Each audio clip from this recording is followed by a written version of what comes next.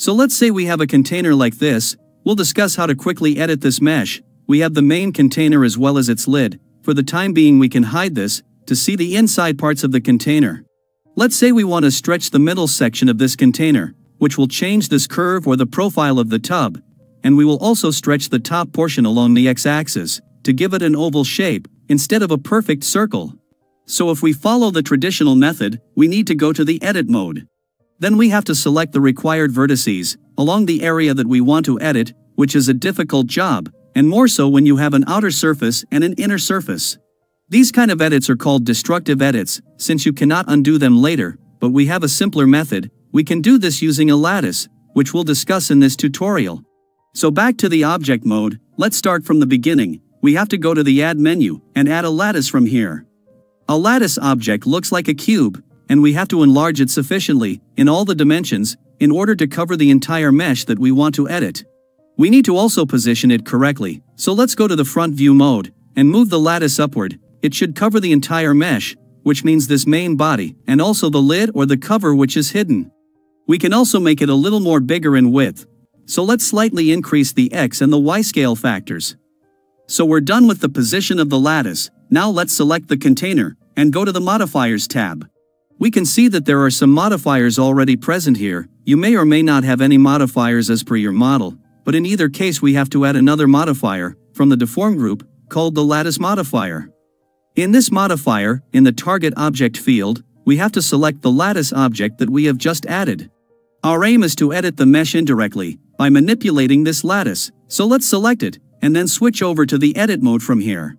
We'll now edit the lattice, but since we want to stretch the middle section of our model, we need to have more subdivisions for the lattice object, so let's go to this lattice tab, and here we can see the number of subdivisions for each axis, let's increase this number to say 5. Then let's select the vertices in the middle section of the lattice, using a box select, and we have to ensure that all four vertices are selected. Now we can scale it up, or stretch it, and the mesh object will also get stretched at the same time.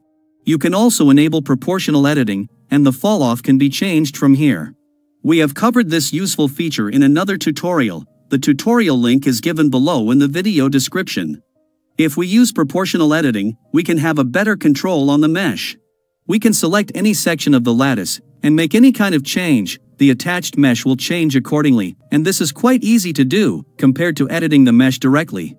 Now, in the next step, let's say we want to stretch it this way, along the x-axis. So we have to select these four vertices on the lattice, we won't touch the mesh at all, that's the beauty of this method. And as we stretch it, the mesh will also stretch simultaneously. But we can see that this end has also stretched slightly, as we move this handle to stretch the mesh, the other end of the mesh is also moving. But this is not what we want, so let's undo this and discuss how to rectify it.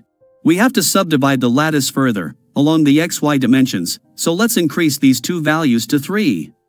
Now, we'll select these vertices on the lattice, but we have to select 6 vertices, instead of the 4 which we selected earlier, since the dimension is now changed to 3.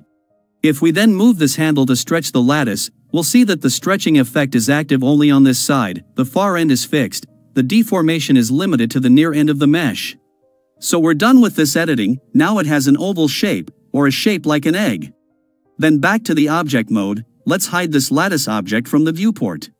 There is one last thing that we'll discuss, in the rendered view, we can see that the material and the UV map are intact, they are perfectly adjusted along with our mesh edits, which is very nice. However, if we now unhide the lid, or the cover, we'll see that it is no longer matching with the container. But the beauty of this method is, we can add the same modifier and use the same lattice for any object. So in the Modifiers tab, we can see some existing modifiers, they were added for the modeling, we'll ignore them and add a lattice modifier. Then, in the target object, we'll select the same lattice that we have used earlier for the main container. If we use the same lattice, we'll get the exact same deformation, and the lid will perfectly match with the container. So another helpful feature of this method is, you can edit multiple mesh objects by using a single lattice. And remember that the order of your modifiers is important, so depending upon which modifiers you use, you may need to place this modifier in the correct sequence, like at the top, and you can also apply this modifier, in order to make the changes permanent. Or you can keep it as it is, since it is a non-destructive edit, you can always modify it later, or remove it, or change its strength. So this is how we can quickly edit any mesh, it is one of the beautiful features in Blender that can be really useful at times. This is similar to shape keys, but it has some advantages over shape keys as we discussed. So I hope you like this tutorial, thanks for watching, and don't forget to subscribe to this channel.